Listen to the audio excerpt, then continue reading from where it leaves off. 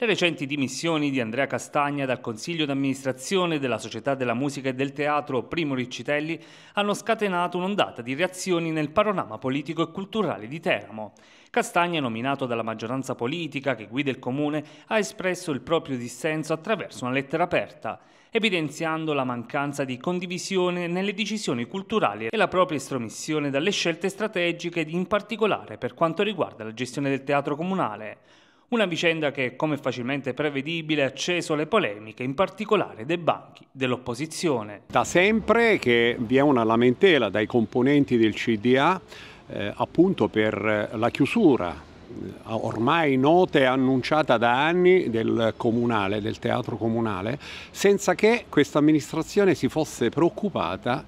eh, di come eh, diciamo, sostituire questo spazio e dare la possibilità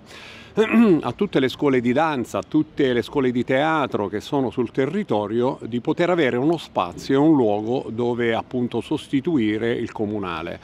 Eh, il dottor Castagna eh, era un membro nominato dal, dalla maggioranza, dal sindaco, quindi lei può immaginare eh, l'imbarazzo eh, appunto delle dimissioni di un componente della maggioranza. Io mi aspetto che tutti i componenti del CDA facciano un passo indietro e diano le dimissioni, appunto perché non vi è nessuna possibilità di poter andare avanti, di poter gestire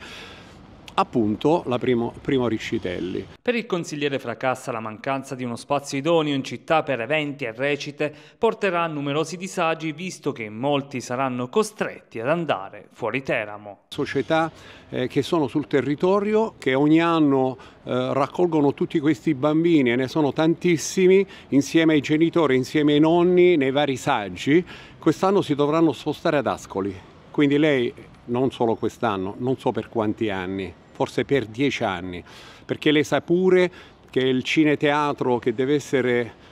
abbattuto e ricostruito, vi sono anche delle problematiche dettate da mh, alcune attività commerciali e quindi non si riesce ancora a capire quando inizieranno i lavori e soprattutto quando termineranno i lavori.